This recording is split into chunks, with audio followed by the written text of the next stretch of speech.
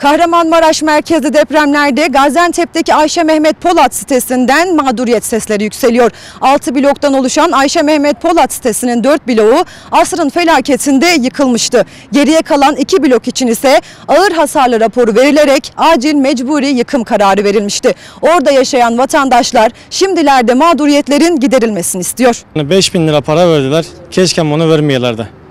İnsanların evlerini verelerdi. Deprem felaketinin üzerinden yaklaşık 8 ay geçmesine rağmen depremzede vatandaşların sıkıntıları devam ediyor. Gaziantep'te asrın felaketinde yıkılan Ayşe Mehmet Polat sitesi sakinleri seslerini duyurmaya çalışıyor. 6 Şubat depreminde 134 kişinin hayatını kaybettiği Ayşe Mehmet Polat sitesi sakinlerinin mağduriyeti sürüyor. Site sakinleri mağduriyetlerinin bir an önce giderilmesi için yardım beklerken verilen sözlerin yerine getirilmesini istiyor. Avukatım. Yaklaşık 134 vatandaşımızı kaybettik. Ben de annemi ve erkek kardeşimi kaybettim.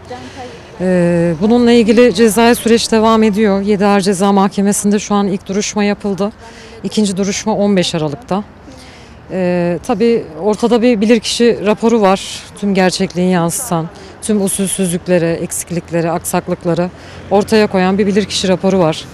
Her ne kadar e, dava açılırken iddianamede bilinçli taksirle birden fazla kişinin ölümüne, ölümüne sebebiyet vermeden dosya açılmış olsa da e, biz bu suçun açıkçası olası kasla adam öldürme olduğunu düşünüyoruz. Zira e, her ne kadar müteahhit verdiği ifadesinde o dönemin koşullarına uygun bir yapı yaptığını belirtse de bilirkişi raporu gayet açık ve net.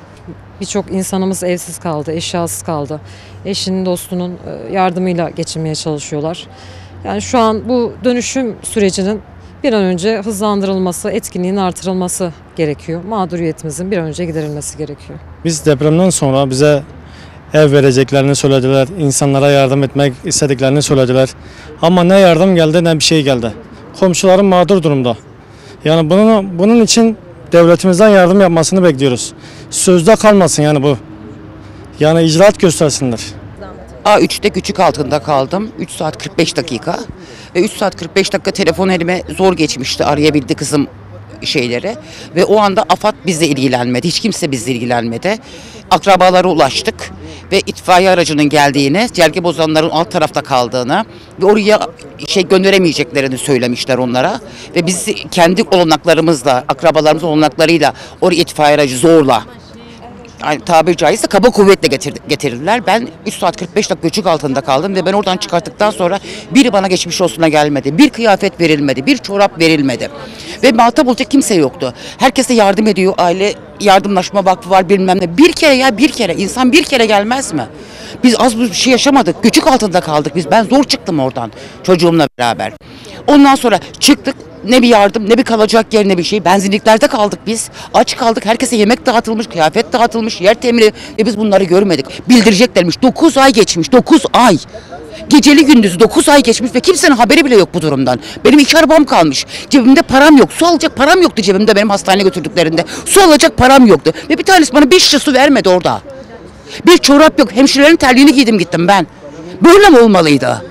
Vergiyi alıyorsunuz, onu alıyorsunuz, bunu nerede hani nerede? Yaralarımızı sarmış, kim bizim yaramızı sardı? Bana gösterin kim bizim yaramızı sardı? 7 binde araba duruyormuş, 9 milyar istiyorlarmış. Pert olan araba, araba böyle olmuş, benden 9 milyar para istiyor. Nerede? Giyecek çamaşırım yok benim ondan bundan bulup giyiyorum. Evim yok, barkım yok, kocam yok. Ben niye veriyorum? Niye vergi veriyorum? Sebep niye? Yaralar sarılmış. Helallikler dilendi bize. Niye helallik vereyim ben bunlara? Mallarımı, mülklerim, paralarım üzerine yerine kadar tespit ettiler. Nerede paranız var? Şurada. Nerede paranız var? Burada. Nerede altınız var? Burada dediler bana. Yerlerini bildiler orada. Ve bana bir kuruş vermediler. Ben 10 kere karakola gittim geldim. Diyor ki bana imitasyon şeyleri çıkartmış bunlar diyor. Benim selfie çubuğumu veriyor yanında. Selfie çubuğu. Yanında param var diyorum. Bunun yanında altınım vardı benim diyorum. Selfie çubuğunu elime veriyor. Bu sizin diyor. Benim olduğunu biliyor bak. Bu sizin diyor. Ali Karabulut adına geçiyor. Bu diyor. Burası sizin diyor. Ve benim altınlarım paramı vermiyor. Bunlar nerede peki? Nerede? Bana göstersin. Ev diyorsun ev yok. Yardım diyorsun yardım yok. Kenar semtlere dünyanın yardımlarını yapıyorlar. Aylık beş buçuk milyar altı bize de 5 milyar kira parası. Vermesin canım istemiyoruz onu da istemiyoruz. Toki dedin Toki yok. Ko- Konteyner dedim konteyner yok. Ev dedik ev yok. Ben bir üç sene nerede bekleyeceğim?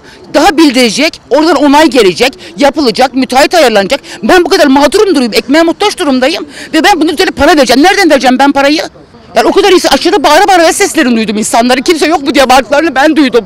Dışarıdan Coşkun abi ne olursun çık diye bağırdıkları sesini ben duydum. Mahşer gününü ben yaşadım. 55 yaşında bir kadınım. Ben 35 sene emek vermişim. 35 sene emek vermişim ve iki arabam birden pert. Evim pert. Evde beş kuruş bir şeyim yok. Üstümde bir şeyim yok. Ya ben ne yapacağım şimdi? Ben de göçük altından çıktım. Ne demek yani?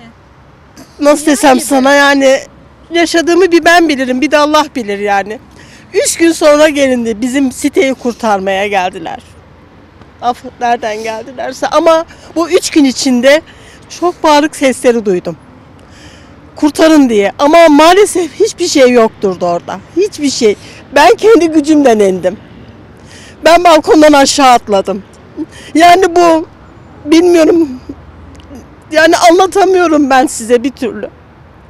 Ne olur konuşmak istemiyorum ben. E, yıkıldı. İnşaatın demirini aldı gittiler. Olduğu gibi de bıraktılar. Bu nasıl olacak? Hiç kimse gelip bir şey sormadı. Biz de hakkımızı nereye ara, arayıp bir şey edemedik yani kendimizi ifade edemedik. Kimse ilgilenmedi. Bunun bir an önce binamızın yapılıp tekrar aynı konumuna gelmesini devlet büyüklerimizden rica ediyoruz. İki kızım, torunum, eşimi kaybettim. Benle büyük kızım enkaz altından çıktık. Dört buçuk saat sonra. Daha benim kemiklerim kırık. Şeyle geziyorum, korseyle. Bana evde neyim var dediler. Ben hastanede iki ay yattım. Kızım peş peşe ameliyat geçirdi. Hastanede bakım olmadı. Üniversitede yattım. Her gün ben kovuldum. Yardım görmedim. Partiden geldiler size yardım. Yok hiçbir şey yok. Ben evimden çıkanımı istiyorum dedim ya. Paramı, altınımı, her yerde olan paramı, altınımı söyledim. Ben hiçbir şey bulamadım. Sizi vatandaş çıkardı diyor. Vatandaşın ne işi vardı benim evimde? Eşimin cebinde parası vardı, maaş dağıttı diyorum. Kıyafetler her şey gitti diyorlar. Kime anlatacağım ben bunları? Kolonlar kesik de haberiniz var mı diyorlar. Biz oraya şeyleri bağlar mıydık paraları?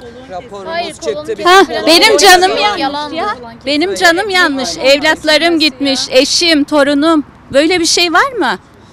Ben suç duyurusunda bulundum. Sonuna kadar da arkasındayım. Her şeyimi istiyorum. Evimi, paramı, her şeyimi. Burada depremden belli bize söylenilen sizin eviniz yapılacak, bütün yardımlarınız karşılanacak ve bu şekilde bizi 20 gün boyunca yıkılana kadar avuttular diyelim. Bize dediler son eee, yıkımı yaptıktan sonra yardım edeceğiz, bütün eşyalarınızı karşılayacağız, arabalarımız pelt, arabalarımız karşılayacağız denildi ve karşılanmadı ve arabalarımız hala otoparkta. Bize söylenilen her şekilde mağduriyetiniz giderilecek denildi. Bu birinci konu. İkinci konu bize dediler ee, eviniz tekrar yapılacak. Bir senenin içinde yapılacak ve 7-8 ay geçmiş. Hala herhangi bir şey yapılmadı. Rezil durumdayız ve 5 bin lira kira yardımı yapılıyor. Yani en kötü ev şu an 10 bin 15 bin lira.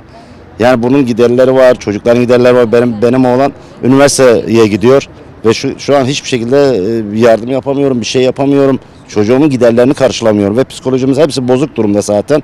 Biz yardımları bekliyoruz. Bize bir açıklama yapılsın. Ee, Bizim evimiz yıkıldı, eşyasıyla birlikte yıkıldı. Ve bu mağduriyetimiz şu şekilde, yani eşyamızla birlikte yıkıldığı için e, sonrasında eşya yardımı da gelmediği için e, eşya almak zorunda kaldık. Şu anda mesela ben de bir yerde ikamet ediyorum, kendi eşyamı aldım. Yani bize mesela e, şu, en önemli şey şu, yani e, biz neyi bekliyoruz ve ne zaman olacak? Yani bu iki ana madde üzerinde toplanırsak daha iyi olur.